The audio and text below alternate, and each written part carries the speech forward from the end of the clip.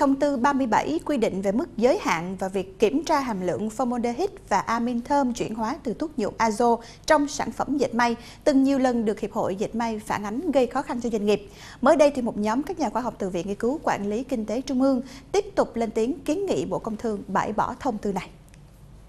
Theo đại diện CM, việc Bộ Công Thương ban hành thông tư 37 là trái luật chất lượng sản phẩm, hàng hóa, Cụ thể, luật chỉ cho phép Bộ Công Thương ban hành các quy định về việc kiểm tra hàm lượng formaldehyde trong sản phẩm dệt may nếu sản phẩm đó thuộc nhóm sản phẩm hàng hóa có khả năng gây mất an toàn mà Bộ chịu trách nhiệm quản lý. Tuy nhiên, trong danh mục sản phẩm, hàng hóa có khả năng gây mất an toàn thuộc trách nhiệm quản lý của Bộ Công Thương lại không có sản phẩm dệt may.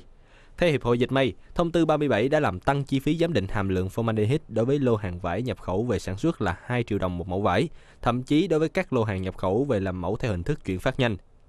Có khi chỉ có 5 đến 10 mét vải, doanh nghiệp vẫn phải kiểm định hàm lượng formaldehyde và chi phí vẫn là 10 đô la Mỹ. Hiệp hội này cũng đã nhiều lần kiến nghị Bộ Công Thương rà soát sửa đổi thông tư 37 vì có nhiều nội dung quy định không rõ ràng, dẫn đến cách hiểu khác nhau trong quá trình thực hiện, mà người chịu thiệt chính là doanh nghiệp.